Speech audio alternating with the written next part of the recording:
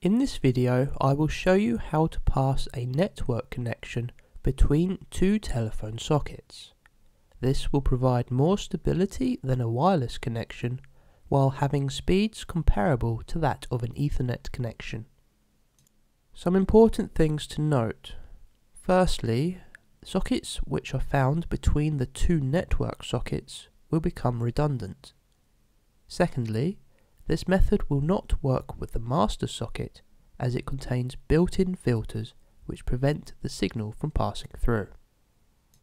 For this guide you will need two wired BT plugs taken from either a phone cable or a multi-output adapter, two RJ45 Ethernet plugs with optional Ethernet plug boots, two RJ45 Ethernet coupling blocks, two Ethernet cables rated Cat5 or higher, a screwdriver, and an RJ45 Ethernet crimping tool. You may also need a punch down tool and a network cable testing kit. Before proceeding any further, we must firstly disconnect the extension sockets from the rest of the telephone network. This can be done either in the master socket or in the first socket that is to be networked.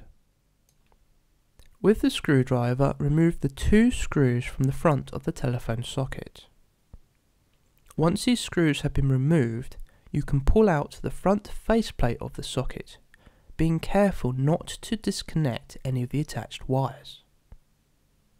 Once the socket has been opened, it is important to note down the colour and terminal number for each wire as not all sockets are wired in the same way. In the master socket, the black cable connects to the outside telephone network and needs to remain connected. Any other cable in this socket will lead to your extension sockets and should be disconnected in order to network them. In the extension sockets, the cables are not so clearly marked and so you'll need to disconnect one of the cables and check for a dial tone. If a dial tone is present, then you have disconnected the wrong cable and you will need to reattach its wires with the punch down tool. After you have identified and disconnected the correct cable, you can reassemble the socket. With the sockets disconnected from the telephone network, you can now look to make the RJ45 to phone plug adapters. If you are using a phone cable to make the adapters, then cut off the plug end leaving about 15 to 20 centimeters of attached cable. If you have the optional boot, you can slip this over the free end of the cable. Now with the crimping tool, strip about 2 centimeters off the plastic sheath to expose 4 wires. If you have a multi-output adapter, then open it either with a screwdriver or by pulling up the side tabs. Once it is opened, use wire cutters to snip the phone plug free from the circuit board. Try to cut as close to the board as possible as you'll need the wires to be at least 2 centimeters long. To remove the plug, press in the tab on it and pull it free. Now it is time to fit the Ethernet plug to the adapter. With the latch of the Ethernet plug on the underside, put the wires into pins 1, 2, 3 and 6.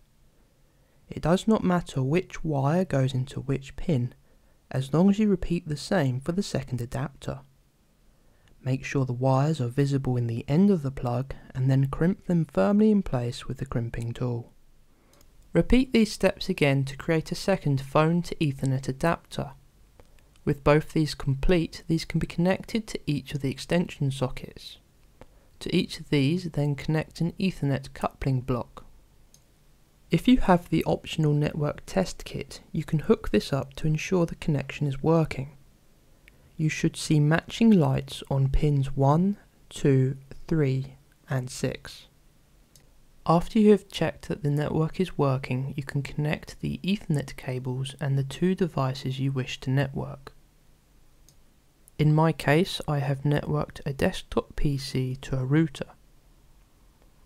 I have used the program LAN speed test to compare the results of this phone cable against a Cat5, Cat6 and a flat Cat5 Ethernet cable. As you can see the results obtained from using the phone cable are not quite as fast as those from a standard Ethernet cable. However, it should be fast enough for typical network usage.